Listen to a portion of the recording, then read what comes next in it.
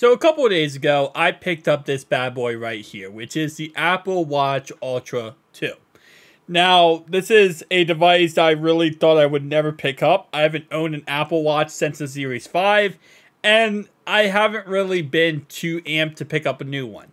You know, I, I still have that Apple Watch, by the way, and I also went ahead and I bought pretty much every single Galaxy Watch since, you know, probably the fifth iteration of the Apple Watch. So, you know, I very much use a lot of Samsung devices. But with the fact that I did pick up the iPhone 15 Pro and the 15 Pro Max, I thought to myself, well, might as well get the Ultra 2 of the Apple Watch.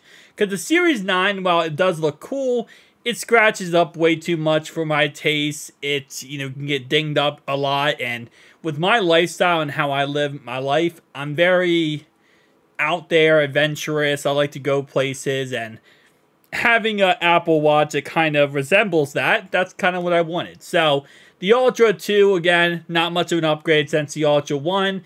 If you are going to pick this up, probably recommend just getting the Ultra 1 for a discount on eBay or a secondhand website because it's not much of an upgrade to the Ultra 2. But nonetheless, though, this I I honestly can say I have fallen in love with this uh, device, and I was not expecting that at all.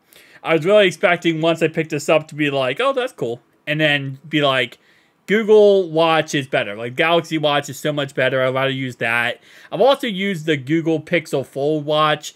Not too much of a fan of that watch either. Um, and I will say I still love my Galaxy watches, and they are still top tier on my list when it comes to smartwatches.